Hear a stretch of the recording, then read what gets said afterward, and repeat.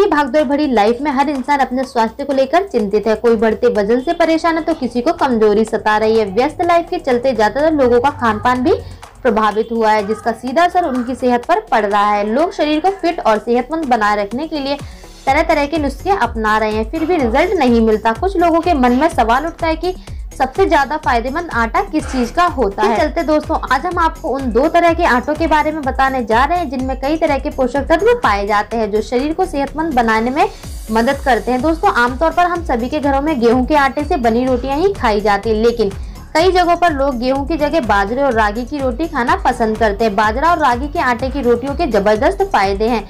यह न सिर्फ़ हमें सेहतमंद बनाती है बल्कि कई तरीके की बीमारियों से भी बचाती है। तो बाजरा, रागी दो ऐसे अनाज है जिनमें प्रोटीन डाइटरी फाइबर विटामिन और आवश्यक पोषक तत्व मौजूद होते हैं, जो की वज़न कम करने के साथ साथ पाचन को सुधारने में भी मददगार होते हैं।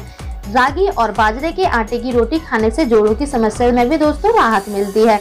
वहीं रागी और बाजरे के आटे में एंटी इंफ्लेमेटरी गुड़ पाए जाते हैं और जो अर्थराइटिस की समस्या को दूर करते हैं। साथ ही ये सूजन को भी कम करते हैं। इसलिए सलाह दी जाती है कि जिन लोगों को अर्थराइटिस की समस्या है, उन्हें इन दोनों अनाज के आटे की रोटियाँ ज़रूर खानी चाहिए। वही बाजरे के आटे में कैल्शियम और फास्फोरस भरपूर मात्रा में पाया जाता है। इसके नियमित सेवन से हड्डियाँ मज़बूत बनती है। यही वजह है कि कमज़ोर लोगों को डॉक्टर बाजरे की रोटी खाने की सलाह देते हैं। बाजरा कोलेस्ट्रॉल लेवल को कंट्रोल करने में मदद करता है। दिल से जुड़ी बीमारियों के होने का खतरा कम हो जाता है। इसके अलावा ये मैग्नीशियम और पोटेशियम का भी अच्छा स्रोत है।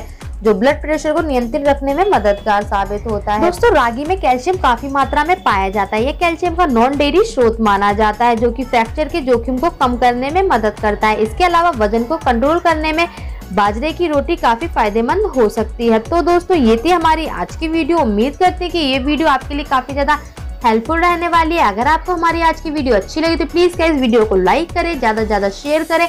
एंड हमें कमेंट करके ज़रूर बताएँ कि आज का वीडियो आपको कैसा लगा।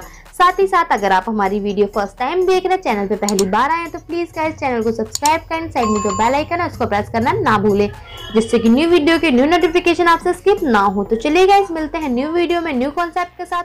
Till then bye take